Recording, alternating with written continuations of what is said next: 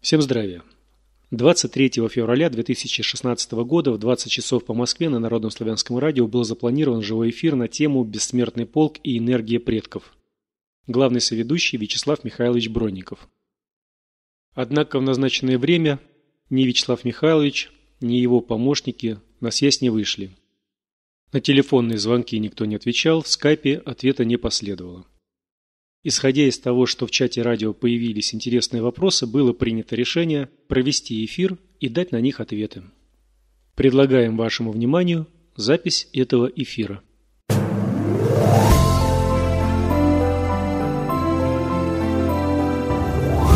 В эфире Народное славянское радио. Поехали!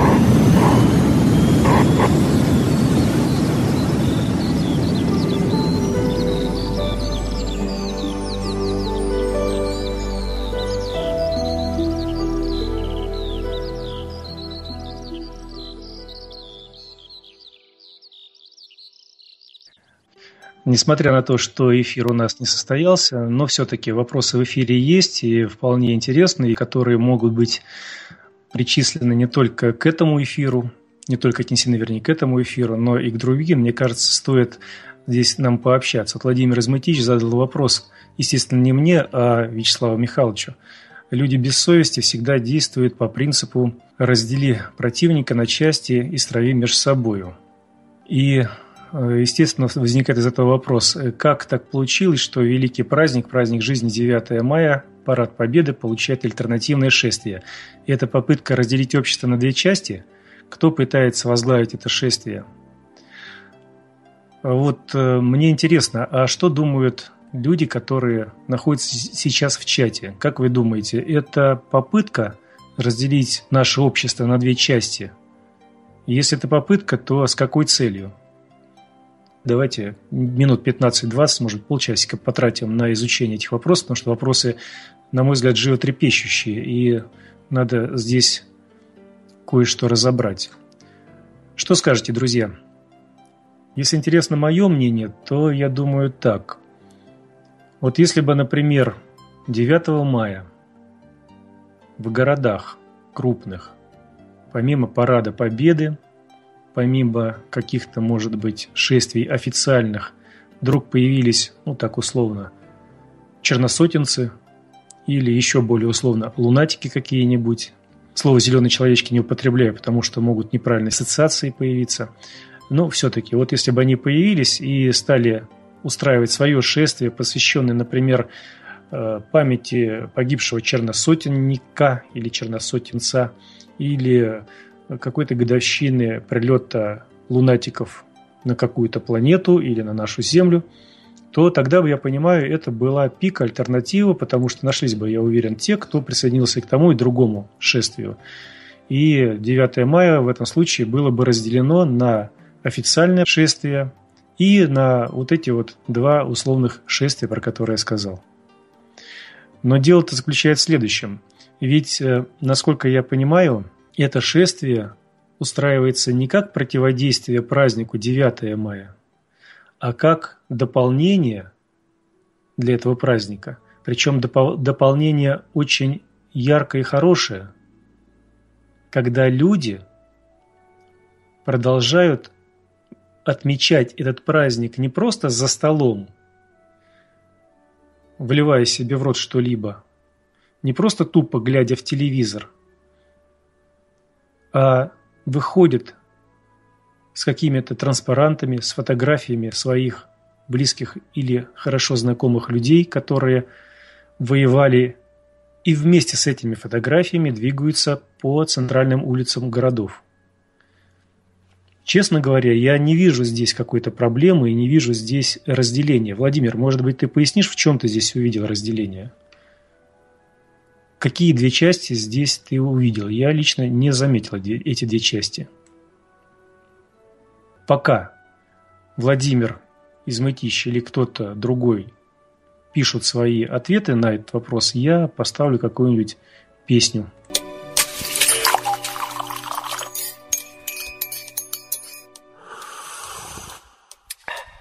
Продолжаем разговор.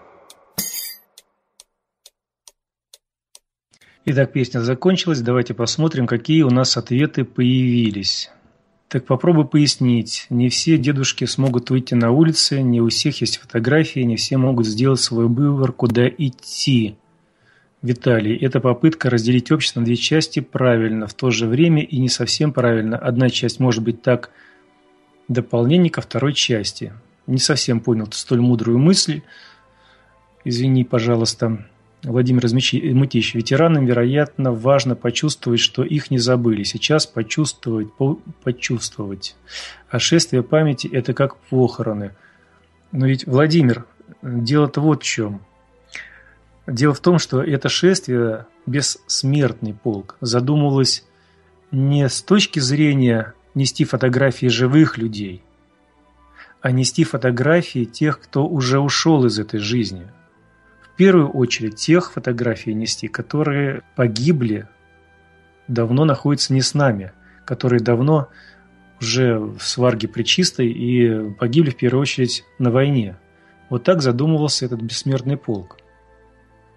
И я немножко не понимаю, чем здесь похороны могут быть, если люди несут фотографии своих уже умерших людей. То есть, вот давайте так просто подумаем на минуточку с точки зрения славянского мировоззрения. Наши предки всегда с нами. То есть смерти как таковой нет. Переход из одного физического тела в другое физическое тело не означает смерть. Смерть в том высоком представлении, которое мы есть. То есть мера, да, для жизни, для жизни, для физического тела наступила с мерой, да, и человек вышел из этого тела, но при этом смерть не разделяет его с его родственниками ни здесь, ни там. Как он был связан нитями со своими предками, так он остается с ними связан. Как он был связан с э, нитями со своими родственниками здесь на земле, так он с ними продолжает быть связан. И если человек выходит с памятью о своих предков на улицу, то какие здесь могут быть похороны? Он лишний раз доказывает наше ведическое мировоззрение, что мои предки всегда со мной, мои деды, они со мной всегда, братья. И если я несу фотографию одну, вторую, третью, некоторые даже делали большие такие плакаты там, с двумя палками и несли вдвоем их, где было несколько фотографий прикреплено, не одна, не две. Там целая семья была прикреплена. Что здесь плохого? Парад прошел, замечательно, его показали по центральному телевидению. Все радостно посмотрели на то, что вот у нас есть такая техника замечательная, что вот у нас есть такие замечательные войска. Но при этом народ дальше выходит и идет по центральным улицам. Это как является продолжением, продолжением того праздника, проявление своей точки зрения, проявление своего отношения, дополнение – что народ не просто сидит у телевизоров, а он выходит на улицы для того, чтобы всем в очередной раз показать «я это помню, это мои предки». И ничего страшного здесь я не вижу. И ветераны, даже если они не могут прийти сами, но они же увидят то, что память не ограничивается телевидением, постановочными какими-то актами. Ведь э, Остановка бессмертного полка никто не занимался. Это была инициатива людей. Они дали предложение. И люди поддержали. И с каждым годом все больше и больше. Так что я не знаю, о каком разделении здесь может быть речь. Дальше, сэр Ежик. Это может быть разделение, если об этом так и думать. Но можно и не думать, что народ единица и получается дополнительная сила, которую кое-кто может поглощать, тоже вариант. Давайте теперь подумаем, кто эту силу может поглощать. Если вы думаете о предках, думаете о них хорошо, если вы не теряете связь с ними, кто эту энергию может поглощать, кроме вас и ваших предков. От этого, на мой взгляд, только нити эти усиливаются, связь усиливается, она становится крепче. Если же кто-то пришел на какое-то шоу, где нет ни предков, нет никакой связи с древностью, и просто из него вытягивают эмоции на ха-ха или хихи, то в этом случае этими эмоциями можно кормить кого угодно. Вот здесь, да, я согласен. И таких шоу у нас устраивается по стране. И не только у нас, а по всему миру. Огромное количество, где из людей просто выкачивают энергию. И люди, не понимая того, еще платят за то, чтобы из них выкачивали энергию. Кого они поддерживают? Чей эгрегор они кормят? А здесь нет никакой другой связи, кроме той, о которой я говорил. Владимир Изматич дальше. Не хотел бы, чтобы в моем городе у меня был выбор, куда идти, в парк или на поздравление ветеранов, или на шествие по проспекту.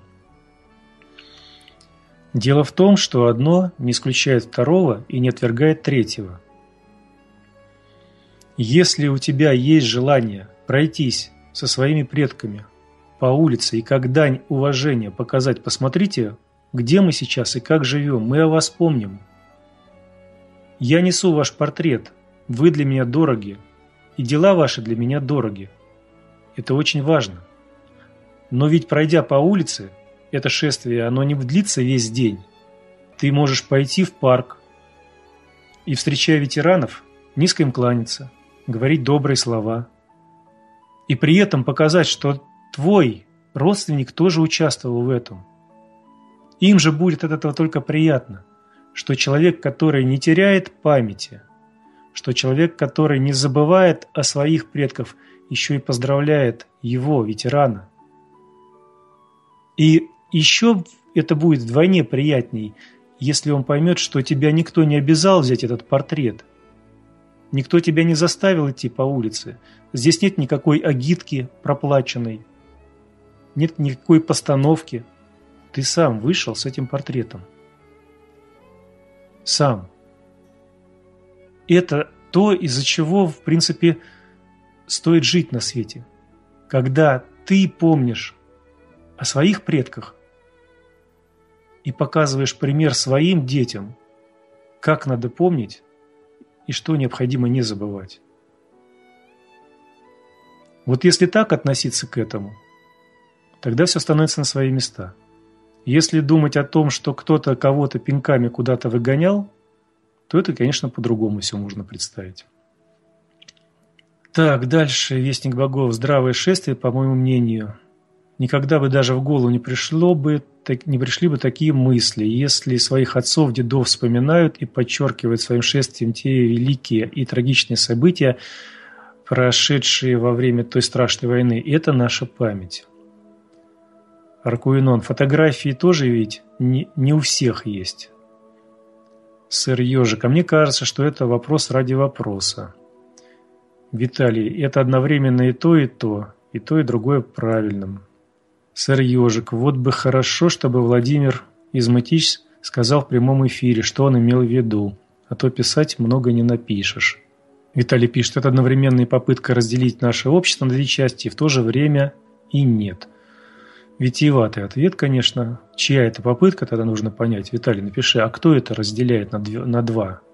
Ведь шествие это что, оно целый день длится, и ты как пришел с утра, так до ночи на одном месте стоишь, и тебя никто не выпускает, и тебя пинками загоняешь, штыками гонит в этот строй, вручают тебе чьи-то портреты, а потом ты, пройдя портрет, выбрасываешь в помойку – Владимир Изматич, мои деды покойные, военные, им важна была официальная часть, парад, торжественный марш, медали, поздравления правительства. Честно говоря, не знаю, как бы они отнеслись к инициативе людей выйти с фотографиями. Это как-то, образно говоря, не структурированный поток людей, хаос, а деды сражались за порядок, за правду. Как-то так. Есть такой анекдот, если вы такие умные, почему строем не ходите? Давай так, Владимир, вот порассуждаем. Представляешь, приходит тебе официальное поздравление. Дорогой мой друг Владимир, поздравляйте с тем-то, тем-то. Точка. При этом тебе не звонят твои родственники, при этом дети о тебе забыли, братья и сестры отвернулись, но ты получил телеграмму от какого-нибудь совета каких-то там представителей. Ну, даже, скажем, от одного президента. Российской Федерации, Украины, Беларуси, неважно. Но при этом твои родственники тебя не помнят. Или наоборот, ты не получил телеграммы, даже от какого-то президента, но при этом пришли к тебе родичи дети, внуки, сестры, братья. Ну все, кто вот живой, они к тебе пришли и тебя поздравляют. И они находятся с тобой. Что для тебя более важно? Официальное поздравление, при том, что от тебя все отвернулись? Или наоборот, что тебя поздравляют, тебя помнят, тебе радуются, но при этом кто-то, даже если он очень великий, какая-нибудь шишка, он тебе не прислал телеграмму. Мне интересно твое мнение, что для тебя более важно? Вот на мой взгляд, все-таки живем мы не для того, чтобы нас поздравил президент, мэр города или начальник какого-нибудь объединения. Мы живем для наших потомков. Мы живем для наших пращуров. А вот во вторую очередь мы уже живем для себя. То есть жизнь ради прошлого, нас, э, ради прошлого и будущего, ради памяти прошлого и будущего, вернее так сказать, она намного важнее, нежели чем просто жить ради себя. Хотя человек приходит в эту жизнь только ради себя, вот хотя только, если так разобраться, только ради себя, да, он приходит для того, чтобы здесь в этой жизни что-то познать. Но ведь он познает это что-то благодаря тому, вот, что на первом месте находится, прошлое и будущее. И если тебе больше нужны официальные поздравления, ну что ж, ну значит у тебя такая направленность жизни. Поздравляю тебя. Если тебе все-таки нужна связь со своим родом и со своим будущим, то это немножечко другое. А теперь представь, что так случилось, что ты уже оказываешься не на Земле, что ты наказываешься в тех мирах, куда, в принципе, ну, многие в ближайшем времени, со временем все попадут. И вот там, к примеру, тебе уже телеграмму официальную никто не пришлет. Ни президент, ни глава какого-то города, поселкового совета или что-то там еще – но родственники о тебе забыли. Или другой вариант. Телеграмма к тебе не придет, от шишек от всяких, но при этом родственники твои будут вспоминать тебя каждый день. И при этом ты будешь общаться с теми, кто до этого был на земле, кто до этого дал возможность тебе существовать на земле, прожить, пройти свой путь, создать свое будущее. И вот эти родственники, которые сейчас на земле остались, они берут плакаты, берут фотографии и, не сговариваясь, просто приходят, чтобы всем сказать «мы помним». Мы помним об этом. И тот, который сейчас не с нами физически, он все равно с нами. То же самое, если так каждый скажет тот, который или те, которые, то это будет тогда все те, которые здесь представлены, и даже те, которых фотографии нет, про что Аркуминон писал, они все равно будут с нами. Что важнее? Причем ведь никто не отменяет парад. И парад можно посмотреть, и можно похлопать в ладоши, потом выйти на улицу с фотографиями, встречать ветеранов и кланяться им до земли, говорить им добрые слова, а потом прийти на площадь или на улицу и просто пройтись в этой колонне, не строем, не надо какие-то мысли упорядочивать. Нет. Просто пройтись, потому что так надо. В чем здесь разделение? Кто-то мне подскажет? А как обеспечить безопасность людей в самостоятельном шествии? О какой безопасности здесь идет речь? Более важно, конечно, поздравление живых людей, чем сухая официальная бумага. Деды увидят шествие тинейджеров и подумают, ё-моё, за что мы воевали? А если они не увидят шествие тинейджеров, они скажут, ё-моё, за что же мы воевали? Нас даже эти сопляки поздравить не хотят, даже нас не вспоминают. Парад – это официальная бумага, которая воплощена в движении техники и людей. Официально. То есть к тебе приходит телеграмма «Дорогой друг Владимир, поздравляю тебя с праздником Великой Победы». Точка. Твой любимый президент. Точка. Дальше. Можно дописать. Ради тебя, Владимир, Я подписал указ о том, что будут выделены деньги на э, работу полиции, которая обеспечит порядок, на работу техники, там, ГСМ будут куплены, соляра, бензин, керосин, что там еще надо, для того, чтобы эта техника доехала. Будет куплена еда, для того, чтобы накормить солдат и офицеров, которые будут в параде участвовать, для того, чтобы форму подшить, для того, чтобы подлатать что-то, чтобы покрасить э, линии, например, там на Красной площади и так далее. Официально выделены деньги. Вот такая телеграмма тебе пришла. То есть вот за эту телеграмму, поздравляю тебя, кроется вторая телеграмма, которая официально будет воплощена в движении техники и людей. Понятно, да, о чем я говорю? Вот, но при этом дети ничего о тебе не помнят, о войне ничего не знают. О том, что было, вообще не догадываются. И наши деды смотрят и говорят, ну хорошо, телеграмму мы получили, техника прошла, а память-то где? А дети где? Что, мы воевали из-за президента, который на трибуне вышел, сказал несколько добрых слов? Или все-таки мы воевали за страну? А страна-то где? Люди где? Ау! Люди, отзовитесь! Где вы там? Ой, нет-нет-нет, мы ошиблись, вот они собираются. Ты смотри, смотри, а вот тут фотография-то вот моего знакомого, а вот и моя фотография. Ой, так это ж наш весь полк здесь собрался. И вот эти тинейджеры несут эти фотографии. С ума сойти. А мы-то даже не надеялись, мы думали, что очередной телеграмкой обойдутся наши тинейджеры и пивка попьют. А тут, оказывается, смотрите, как интересно получается. Да, конечно, важнее поздравлений родственников, спору нет. А что толку? Спрашивает Виталий. Не знаю, что имел в виду Виталий, какого толку. А как защитить шествие от самозванцев со злыми намерениями?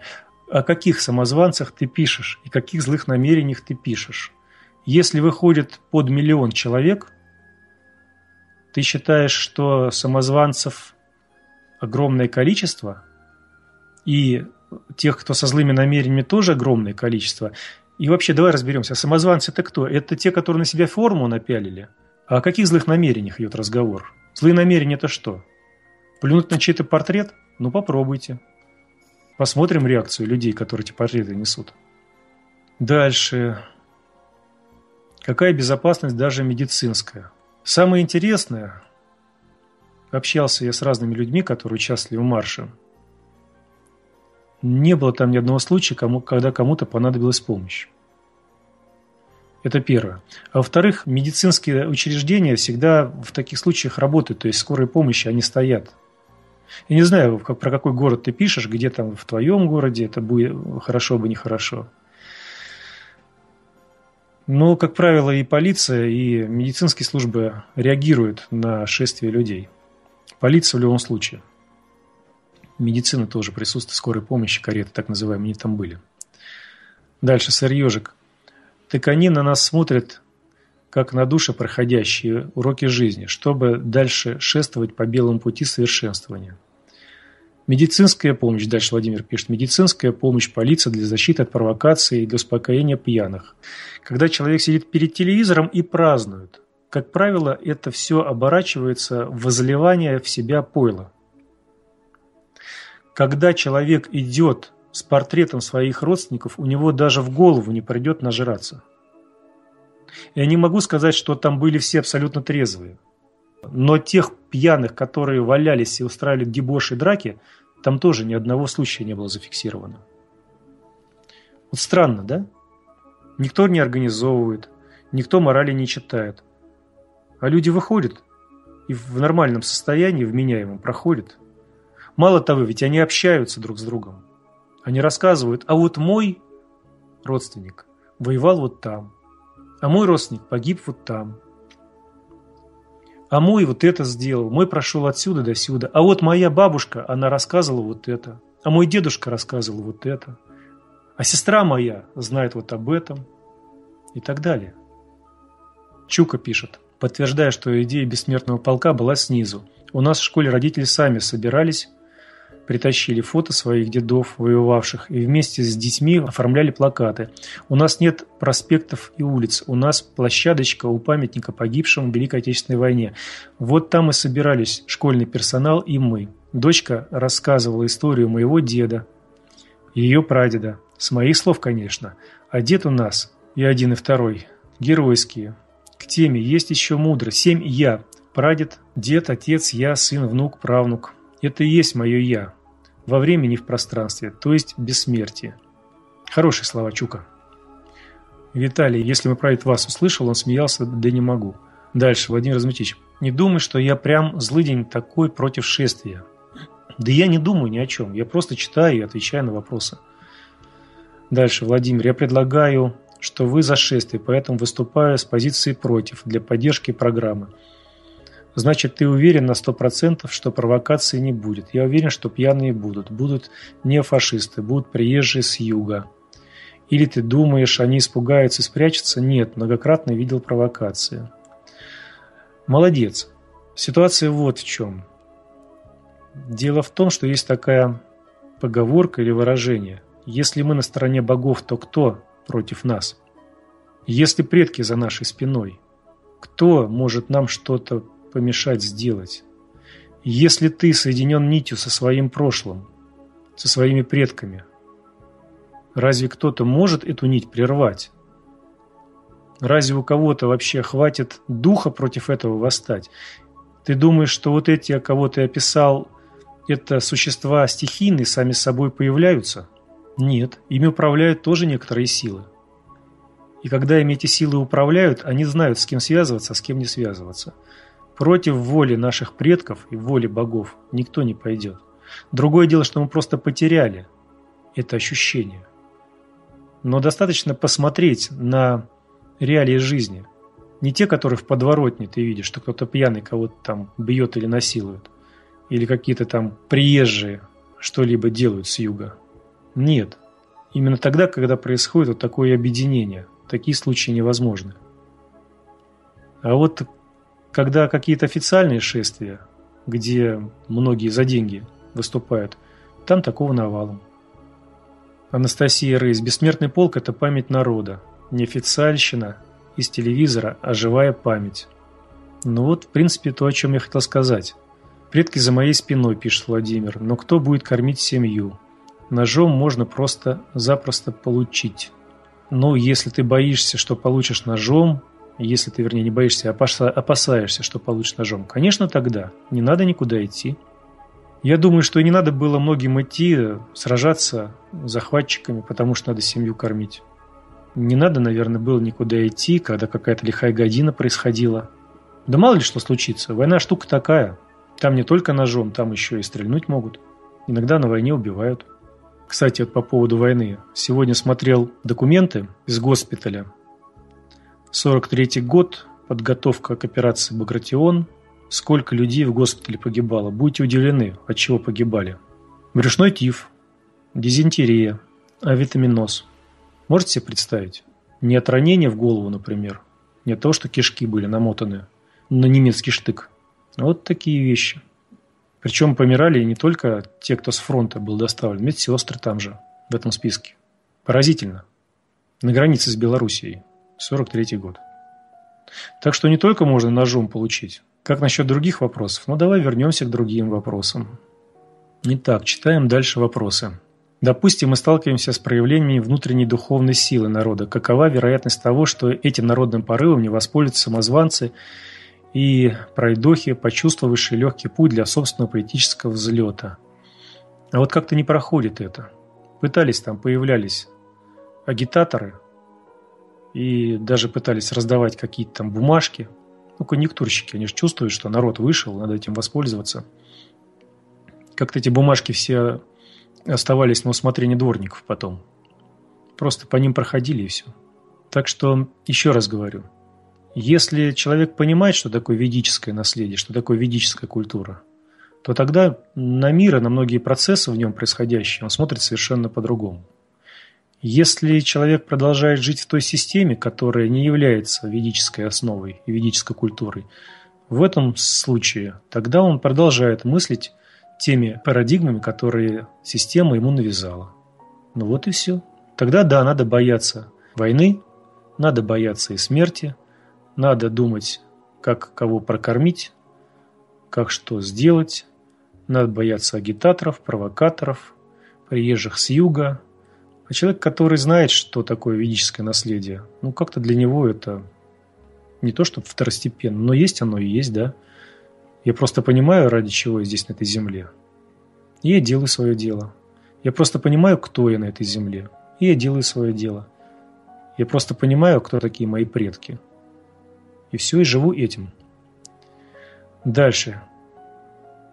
Какая вероятность того, что народное шествие «Бессмертный полк» – это не попытка сконцентрировать активное население для провоцирования трагических событий и создания противоправных действий против приезжих, после чего последует усиление репрессий против коренного народа России.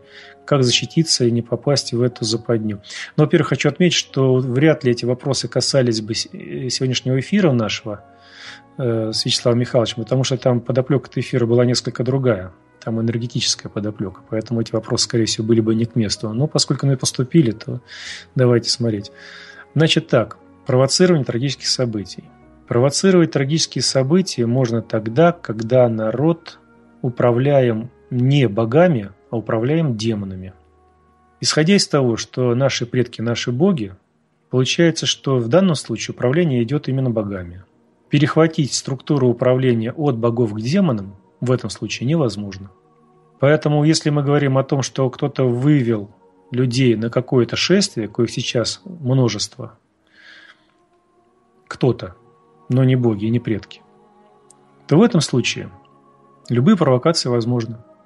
И возможны те последствия, которых написал Владимир Размытищ. И возможно усиление репрессий против коренного народа России. Как защититься и не попасть в эту западню? Да просто – Свято чтить богов и предков. Жить по их заветам. Знать, кто ты на этой земле. Не рвать нить, а укреплять ее. И все. Человек, который живет в себя и понимании богов, никогда на уровень демонов не опустится. Если он не опустится на уровень демонов, то управлять демоны им не смогут. Все очень просто. Если мои слова не убедительны, ну, забудьте о них и продолжайте жить, как жили. Следующий вопрос. На какие астральные духовные мистические объекты сфокусирована астральная энергетика народного шествия «Бессмертный полк», на объекты воинской славы нашего народа, на религиозные сооружения церкви, на мавзолей Ленина или на другие объекты? На направленности на религиозные объекты там не было. На мавзолей Ленина там тоже не было. Или на другие объекты. Там вообще объектов не было. Там было единение людей, шествие во славу памяти своих предков – и общение живых людей. Вы понимаете, вот люди шли и вспоминали своих предков. Не просто несли плакаты и в носу ковырялись и поливали на пол. Они шли, несли плакаты, гордились то, что предки идут рядом с ними, выходили не один, не два человека, выходили семьями. Они гордились, что рядом идут такие же герои, что память об этих героев никуда не пропала. И они понимали, что все это является связующей на уровне горизонтали между людьми, которые никогда друг друга не знали, и на вертикали с нашими предками. И что здесь усиление связи произошло, так и там усиление связи произошло на всех уровнях. Усиление связи произошло через свет, через наше прошлое, через нашу память, через наше настоящее – и горизонтально, и вертикально. Почему народное шествие «Бессмертный полк» не организовано вечером 8 мая, как день печали и памяти о всех ушедших предках? Во-первых, кто это должен был организовать? Вот давай так, Владимир. Эта инициатива о «Бессмертном полку» появилась снизу. Вот выйди с такой же инициативой и предложи. Скажи, давайте мы попечалимся 8 мая о всех наших ушедших предках. И если народ тебя поддержит, то будет хорошо. Будем все печалиться. Предложи форму проведения, как это должно быть. Как ты это себе видишь? Предложи день, 8 мая, предложи время. Вот в такое-то время мы все делаем вот это и это.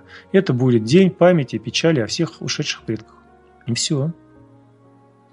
Дальше. Ведь уже на утро будет радостный праздник славы победителей и строительства новой жизни. Почему нужно именно 9 мая, в день жизни, делать шествие смерти? Человек, который не понимает ведическое наследие, он всегда говорит, что со смертью все заканчивается. Смерть – это всего лишь на всю черта, без прерывания связей, без прерывания жизни. Смерть – это черта, через которую человек переходит, оставляя здесь вещи какие-то свои, которые ему стали больше не нужны, получает новые вещи, одевается в них и продолжает жить. Но при этом не теряется связь, но при этом не обрывается телефонная линия. При этом он все видит, при этом он все знает, при этом он все чувствует. И что самое главное, у него еще есть опыт, который он получил здесь, который может применять там. И поддержка, которая здесь есть, она будет отражаться там. Так что я не знаю, о каком дне смерти идет речь. А те люди, которые идут со штандартами фронтов, которых уже нет, а те люди, которые одеваются в форму тех времен, ну вот по Красной площади официальный парад идет, в форме проходят тех времен, проходят солдаты с оружием тех времен.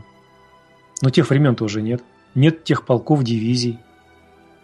Нет ни первого украинского, ни второго украинского, ни третьего, ни белорусского. Никаких этих фронтов нет уже. А штандарты знамена несут.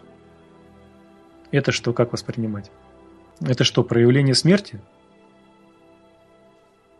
А дальше, Владимир Если я, полезу, если я полезу на нож, меня в первую сразу родня и отдернет. Куда полез дурак? У тебя семья, детей воспитывай. Ну, одернет и одернет, молодец, воспитывай. Я же тебе не заставляю на нож лезть-то. Разве говорю, иди на нож? Я вроде таких слов не говорил. А так вообще вот здесь вот Анастасия пишет. Владимир Разматич, как же? Боящийся отчизну защищать. Наши предки что, были трусами? Эх, понятно, вы романтики. Я человек более практичный, что ли. Я считаю, что сейчас идет война. До сих пор нет повода для расслабления. Враг смотрит на нас. А вот тут абсолютно с тобой согласен. Дело в том, что сейчас идет война. Она, в общем-то, ни, никогда не прекращалась.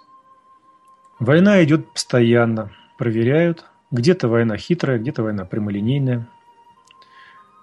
Дальше Аркуинон. Мысли человека реализуются. Это к тому, что для тех, кто думает о провокациях, пьянках и прочей пакости, так они и будут притягивать себе негатив. А если таких негативно мыслящих будет много, значит вероятность того исхода увеличивается многократно. Неужели это так трудно понять? Ведь все очень просто. О чем думаешь, что и случается. Я не просто так сказал, что если вы находитесь на уровне демонов, то вы управляемы демонами – это значит, вы на себе испытаете все то, что демоны для вас готовят. Вы опускаетесь на уровень подчинения демонам, и тогда демоны вами управляют. А управление демонов, демоническое управление, оно очень простое. Это подчинение любым способом, через страх, через зависимость и через многое другое, через обман. То есть, человека напугал, все, человек, если испугался, он твой – ну, я имею в виду, если демон тогда, он, значит, уже находится в управлении демонов. Человек боится что-то потерять. Все, он уже находится под управлением демонов. Человек представляет какую-то страшную ситуацию. Он тоже находится под управлением демонов. Это закономерность, это все очень просто. Так оно есть. Человек, живущий ведическим представлением, никогда ничего не боится – Потому что для человека, живущего ведическим представлением, смерти нет. Тварь боится смерти. Поэтому тварь и совершает тварные поступки, чтобы выжить любым путем. Правдой, неправдой, чтобы выжить. И продлить свою жизнь как можно дольше. И чтобы жрать слаще и спать мягче. Вот это тварный подход к жизни. Параллельно можно настругать детишек – и этих детишек кормить. Но при этом тварь останется тварью. Ведический подход – это мысли о самосовершенствовании, это мысли о своем потомстве не как просто тварном потомстве, которое случайно строгали, а добродетельном потомстве. Мысли о том, что это потомство будет делать дальше и где оно будет жить. Это в эту сторону, в будущее. А в прошлом это связь. Я должен быть достоин своих предков. Мало того, что я должен быть достоин, то есть соответствовать, я еще должен постараться превзойти их в том, чтобы сделать мир лучше. чтобы достичь того, что они не могли достигнуть, потому что они являются ступенями, по которым ты забрался сюда, и ты создаешь что-то будущее светлое. Ты в любом случае должен их превзойти. Ради этого ты живешь. И ради этого будут жить твои потомки, чтобы превзойти тебя. Ты станешь для них ступенью, от которой они оттолкнутся и свою ступень создадут.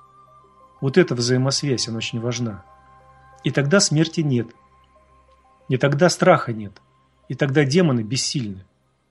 У нас есть люди, которые постоянно кричат, я смерти не боюсь, но при этом он постоянно боится чего-то. А если человек чего-то боится, он боится смерти в любом случае.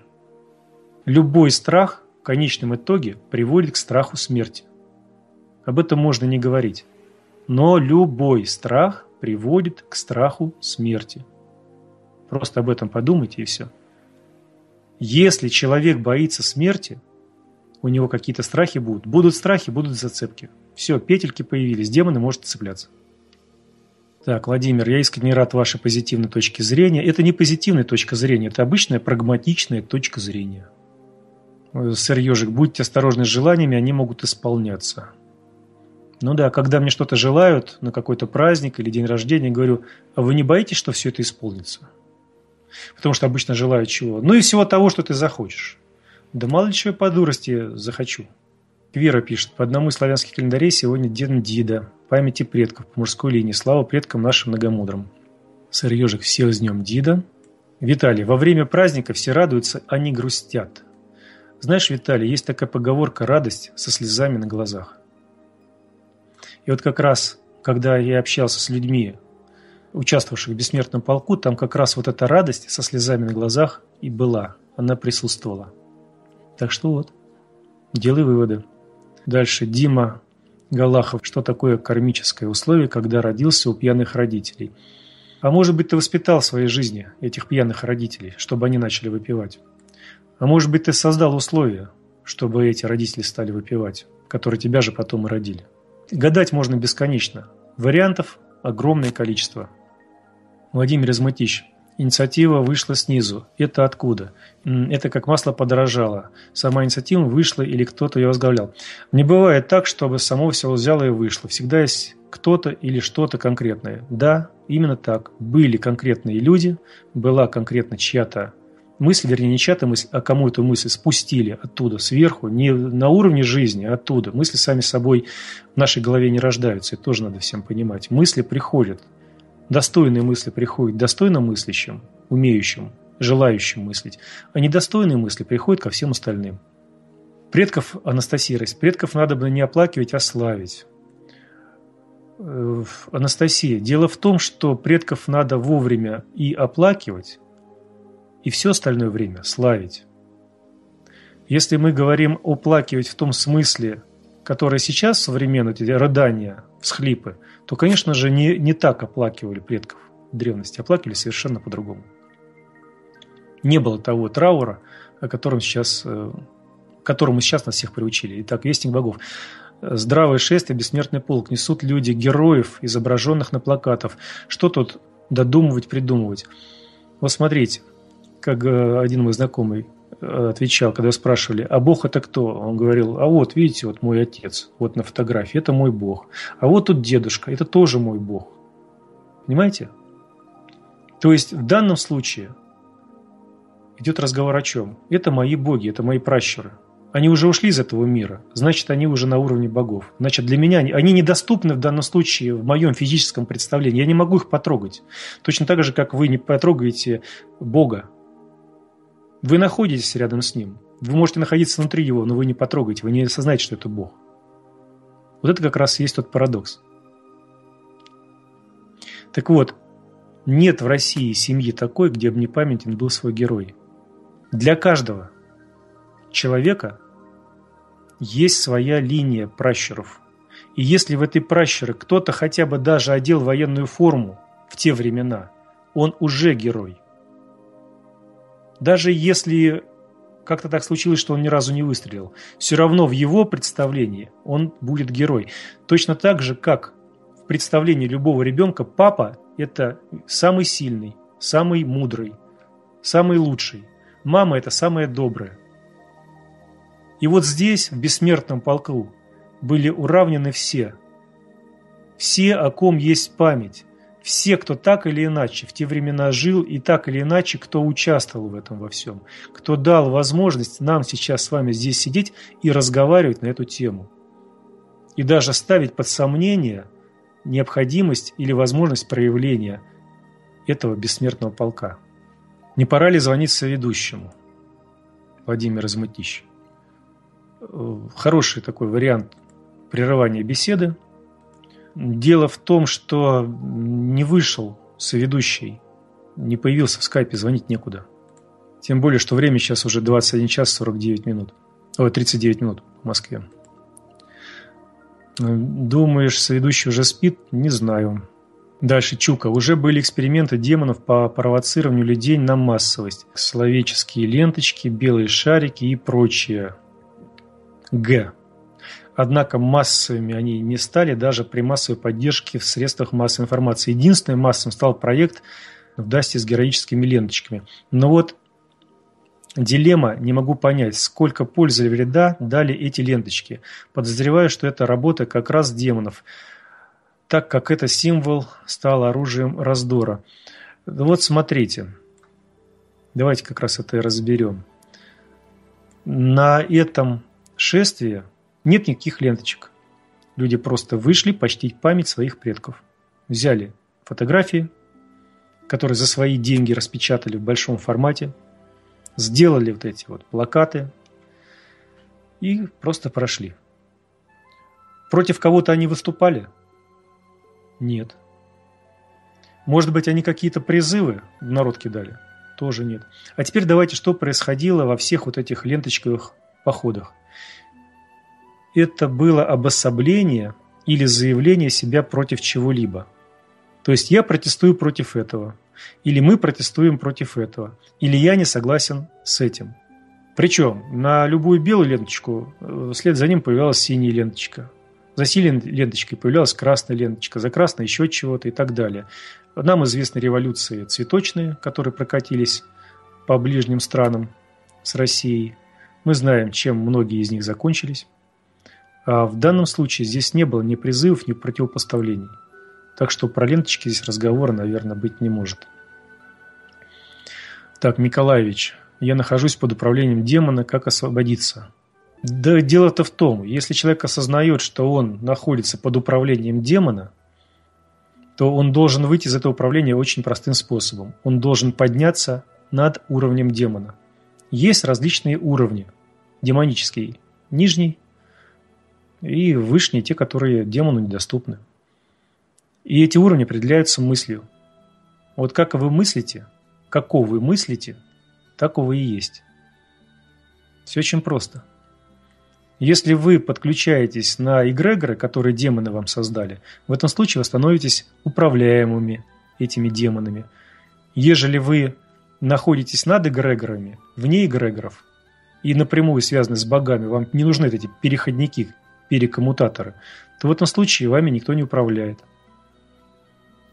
Вот и все. Вы становитесь частью этого мира, частью этого божественного мира, то есть частью Бога.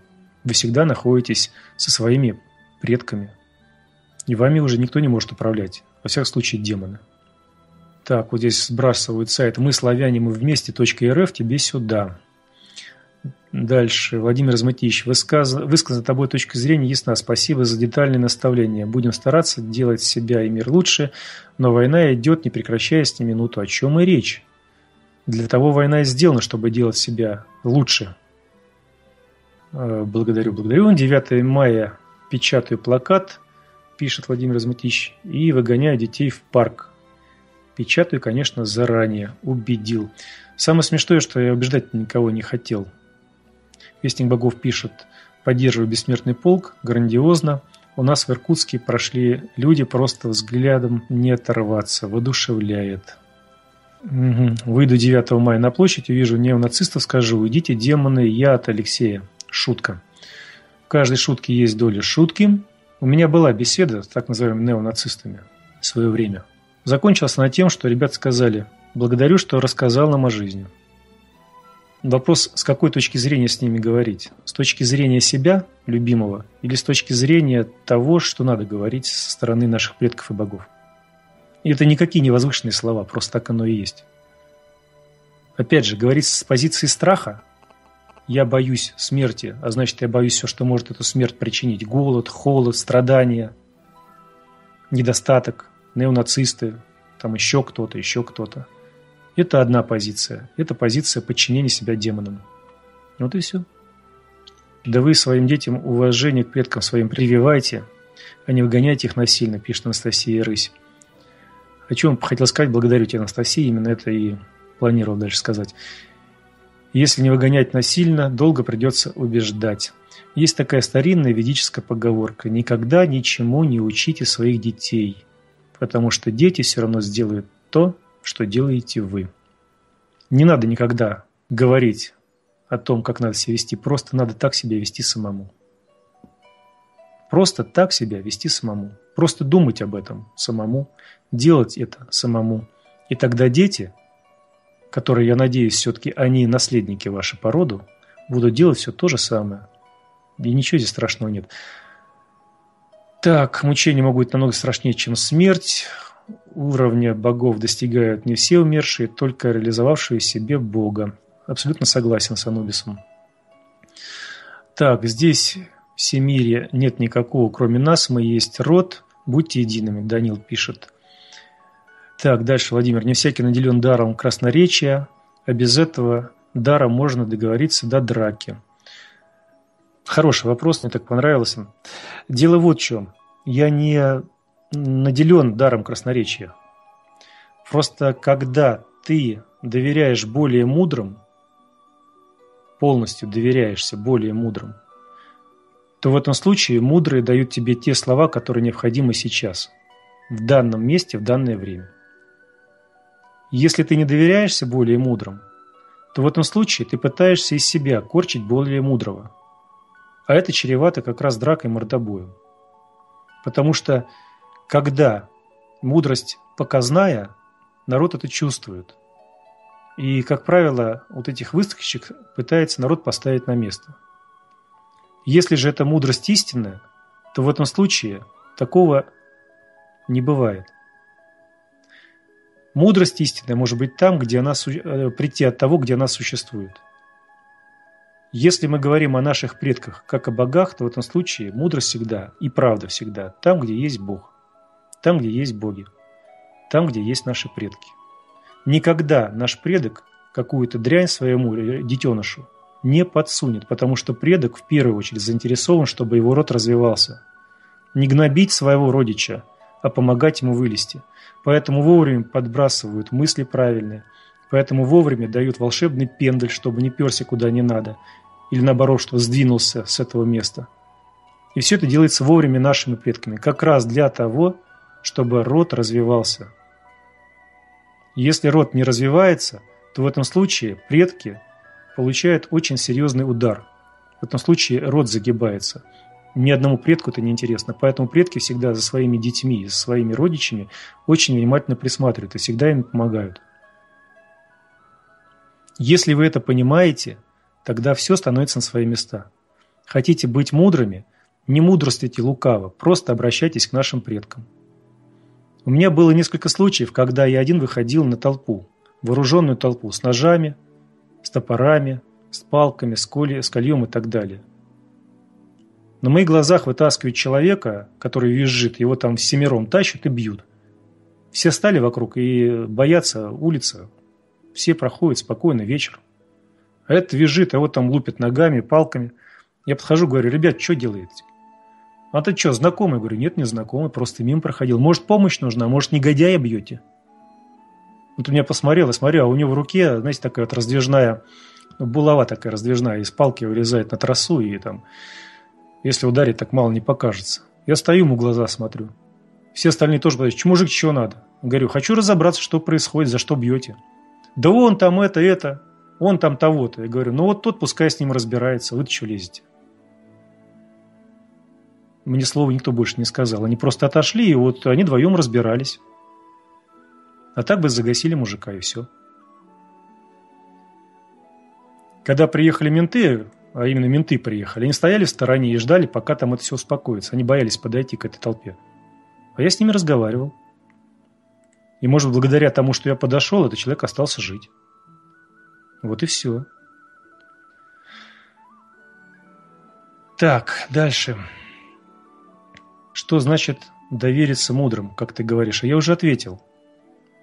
Мудрый – это не тот, кого ты себе представляешь мудрым, а кто есть мудрый. А мудрость там, где есть боги, еще раз повторяю. И мудрость и правда там, где есть боги. Если предки наши боги, то и мудрость у них. И никогда наши предки своим родичам зла делать не будут. Всегда тебе помогут. Вот и все. Чука, анекдот про страх. Вопрос, что ты боишься больше всего? Ответ – темноты и стоматологов. Но темноты больше. Фиг его знает, сколько в этой темноте этих стоматологов. Ну что ж, ребята, прошу прощения, в 22.00, либо детей нужно купать и спать загонять, супруга будет кипятиться, в 22.05 пойду в режим слушателя.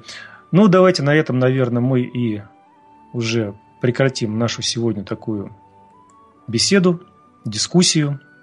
Рад был со всеми с вами пообщаться. Благодарю, что составили мне компанию, а так бы мне в гордом одиночестве здесь сидеть, смотреть в пустой экран, не очень было бы приятно. Вот, э, желаю вам всего самого-самого доброго.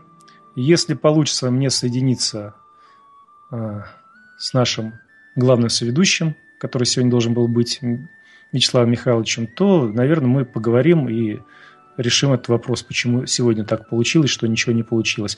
Если же нет, ну, значит, на нет и суда нет. Ну что ж, друзья мои, желаю всем добра, до новых встреч, услышимся.